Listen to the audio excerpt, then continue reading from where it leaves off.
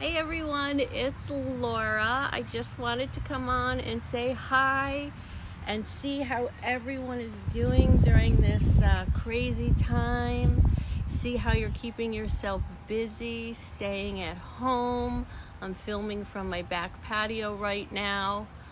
We have been staying home. Hello, Adam.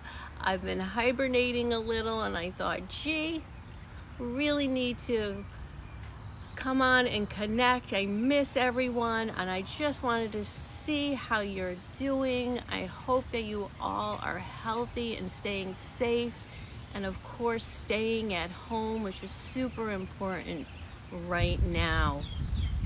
I wanted to see maybe what you're doing to pass the time. Oh, a beautiful blue jay just flew by. You know, that's one thing I've been doing is really appreciating nature so much more. Lucky to be able to be outside in my backyard and see what's going on out here, hearing the birds chirping, the trees blowing. So I'm gonna send a little Florida sunshine out uh, to you guys. But what are you doing? I see people walking and bike riding around here a lot. Um, the dogs, as we know, are getting so many walks. They're so tired.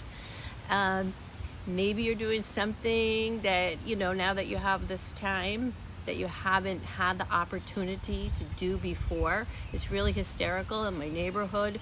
We're all out there like power washing, cleaning the driveways, doing all sorts of home repairs around the house.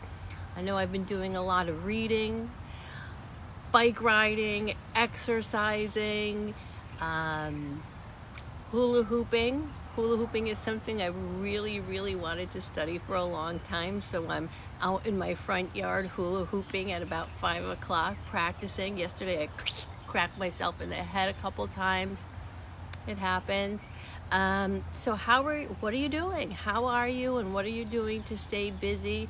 I thought maybe we could uh, do some challenges. I know before we did a push-up challenge, an orange challenge. It's been a while, but I thought it would be fun to connect with everyone and just get something going. So let me know how you're doing, what you're doing, and I hope most of all that you're you're healthy and safe and I send lots of love to everybody. Yeah, stay home and safe.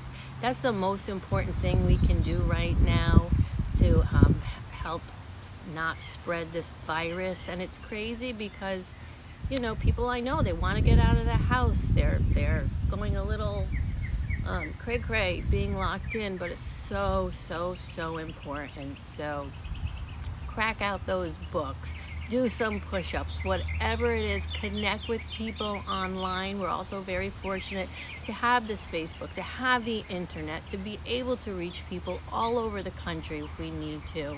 So, you know, pick up a phone, FaceTime someone, make those connections. They're super, super important. All right, everyone, have a great day, and I'll see you guys again real soon. Leave me some comments. Let me know how you're doing. Bye bye.